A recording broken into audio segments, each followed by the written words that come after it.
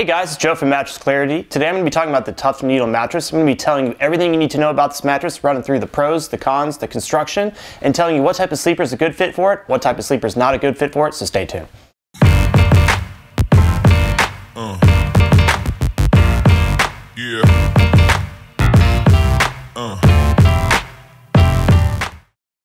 First things first, if you have any specific questions or you want me to give you a personal recommendation, I'm happy to do so. All you have to do is leave a comment below. Tell me a little information about yourself and I'll get back to you as soon as I can.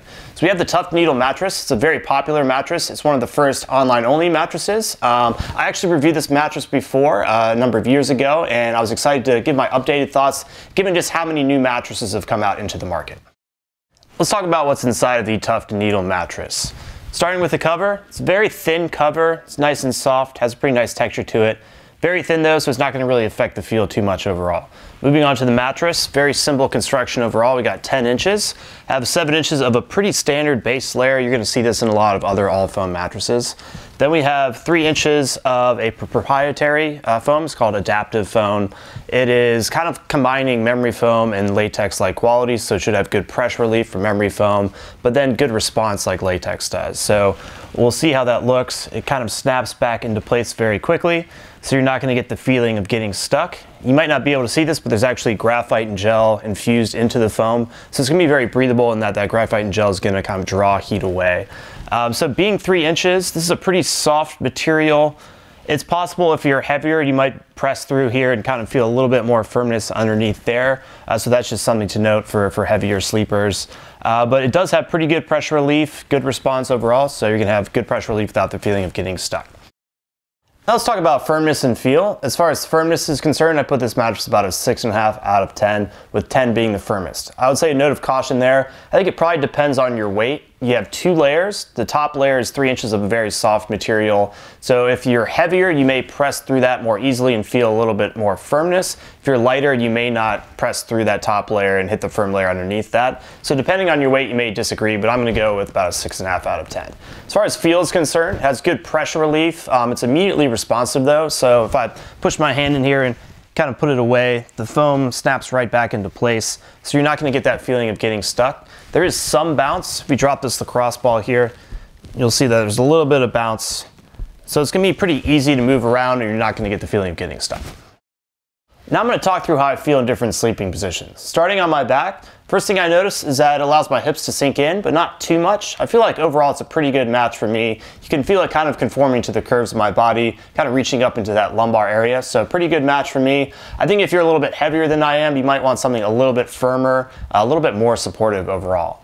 But now switching to my side, I feel like this is actually a pretty good match for me here. I don't really feel a ton of pressure on my shoulders and hips. I think most people would probably agree with that. Again, if you're heavier, you may kind of press through the, the top layer, which is three inches. Pretty soft material, you may feel a little bit more firmness overall. But um, I think for someone of my weight or someone uh, a little bit less than I am, it's actually a pretty good fit.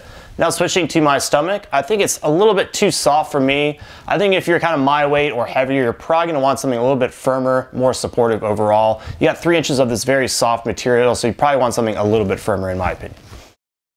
So here at Mattress Clarity, we like to mix objective opinions with objective tests. So I want to give you a visual representation where you might feel pressure points on this mattress. To do that, I have a pressure map here. Get down on my back, side, and stomach, and you're going to see anywhere from blue to no pressure, all the way up to red to high pressure. The only thing to note is if you have a different body type than I do, you may see different results, but let's get started.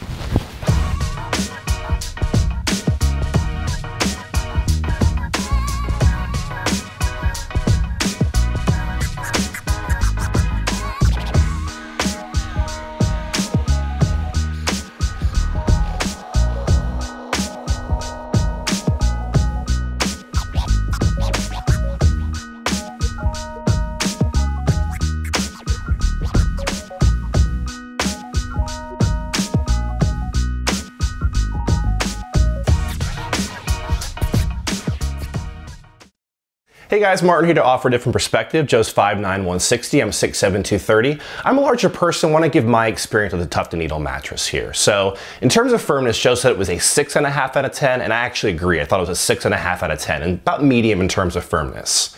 On my back, I definitely feel I'm not getting quite enough support. I kind of feel like I'm sinking into the mattress a little bit there. I definitely need more support in that position. On my side though, I'm feeling nice pressure relief. My shoulders and my hips, I kind of sink in that top layer, feel really nice pressure relief there.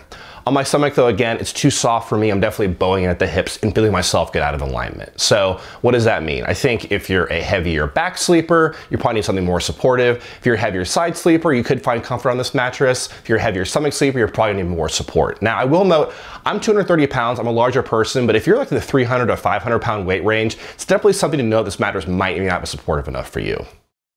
We get a lot of questions from people who sleep with a partner. They want to know if their partner is moving around on that side of the bed. Is that motion going to be isolated or is it going to transfer over to them and possibly wake them up at night? We call this motion transfer. To test that, I have a glass here. I'm going to create a little disturbance here, see how this glass reacts. You can see it's not moving too much. Um, I also had Martin on my team kind of jump in and out of bed, create a little disturbance while I was on this side of the bed. Didn't really feel too much of that motion transfer over to me, so I feel like this is a potentially good option for couples. So if you sleep with a partner or you like sleeping towards the edge of the bed or you're a heavier sleeper, you may want to consider something we call edge support.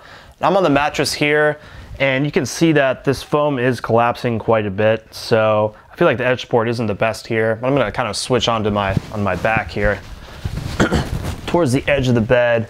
And I get a little bit of that kind of rolling off the bed feeling. So I feel like edge support is not the best characteristic of this mattress. I'm going to talk through some of the pros of this mattress, who I think this mattress may be a good fit for.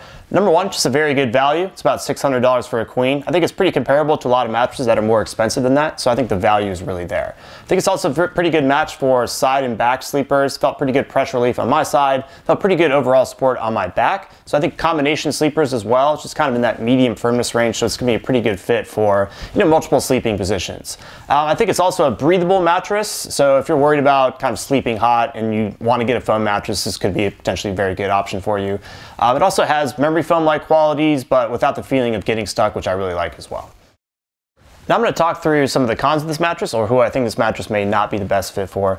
Number one, if you just sleep on your stomach, I think you're probably to want something a little bit firmer, a little bit more supportive. Uh, it's kind of in that medium firmness range. And if you just sleep on your stomach, you definitely want something just a little bit firmer. Also, if you're a heavier sleeper or you have extra support needs, I would probably look for something a little bit more supportive, potentially something with, with coils in the, uh, in the support kind of layers there. Um, and the last thing is if you want something that's very firm or very soft, this is kind of in the medium firmness range. So you're not going to really find that to be the case with, with a Tuft & Needle mattress. So we get a lot of questions asking us to compare Tuft & Needle to Casper, so I thought I'd just touch on that briefly. As far as construction is concerned, the Tuft & Needle is more simple in its construction. It has two layers.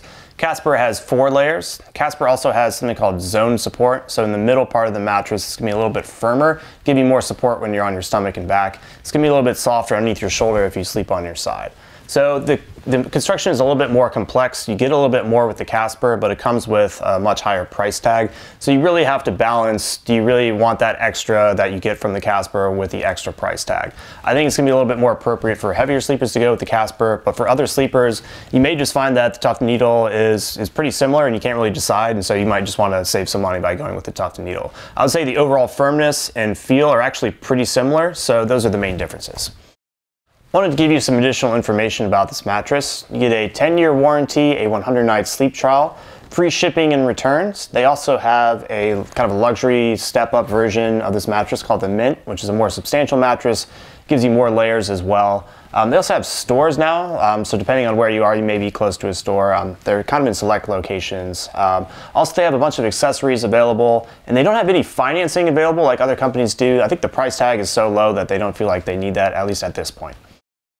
All right, to wrap up, that's basically it. I think a lot of people are going to like the Tuft Needle mattress. With this mattress, it's really all about value. I don't think there's too many better values that you can find out there at $600 for a queen. Um, it's not to last you like 20 years or anything like that, but just a very no frills, simple construction, direct to consumer. They're really pricing it about as low as they can get. And I think a lot of people are going to like it. I would just caution maybe heavier sleepers, and if you just sleep on your stomach, you might want something a little bit firmer and more supportive. All right, so that's basically it. If you're just getting started with your research, definitely check out mattressclarity.com. If you want to see a list of our top picks, simply Google Mattress Clarity Best Mattress. Once again, let me know if you have any questions.